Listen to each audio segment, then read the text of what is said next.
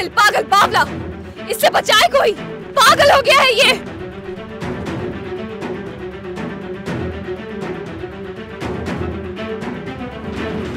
पागल हो गया है वो।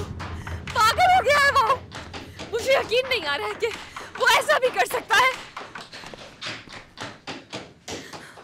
आगा साहब आगा साहब जानते हैं उसने मेरे साथ क्या किया? उसने अचानक से मुझ पर हमला कर दिया। मैं बहुत डर गई थी, मुश्किल से जान बचाकर भागी हूँ।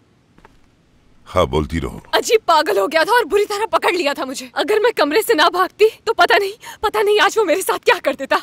देखें सर नहीं रह सकती मैं यहाँ। मैं एक शरीफ खानदान से ताल्लुक रखती हूँ और मेरी मंगनी भी हो चुकी है।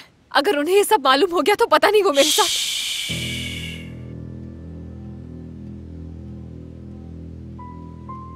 कौन किसकी इज़्ज़त के साथ खेल रहा है? अभी देखते हैं।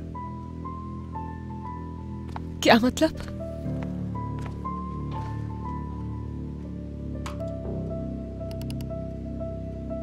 वाह वाह।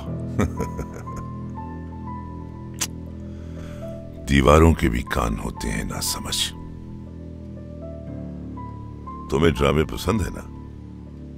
क्या? मुझे भी। ड्रामे बहुत पसंद है।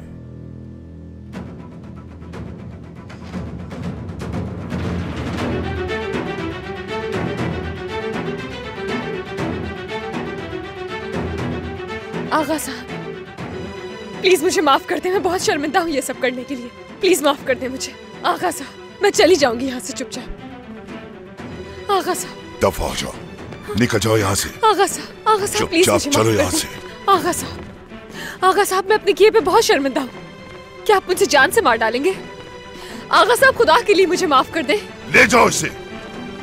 और इसे छोड़ो वहीं पर जहाँ से इसे लाए थे। खुदा के लिए मुझे माफ़ कर दे मैं आपके पाँव पड़ती ले हूँ लो। और इसके मंगेतर को दिखाओ ये। ऐसा ना करे मेरी ज़िंदगी बर्बाद हो जाएगी। खुदा के लिए ऐसा ना करे।